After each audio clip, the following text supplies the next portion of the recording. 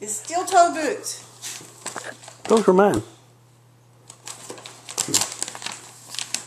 Like I said, you wrap gifts perfectly. No wonder it took you six hours. I am like the worst gift wrapper. Look at the difference between your gifts and my gifts. Yours are all neat and tidy and taut. With your Papa Mom?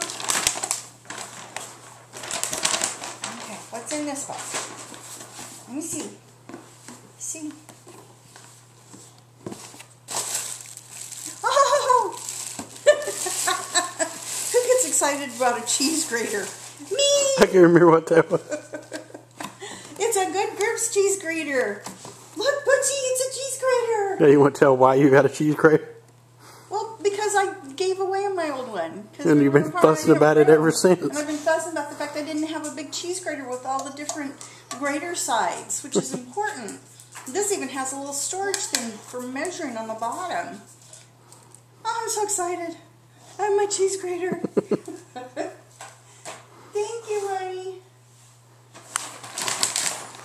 Butchie, doesn't take much, much to make mommy happy. Where's it? What's that? Oh, that's some boots. There should be some cheese in there. No, there's not. No. They're gonna be pretty smelling cheese. What do you think, buddy? Butchie. That's a heck of a lot better than steel toe boots.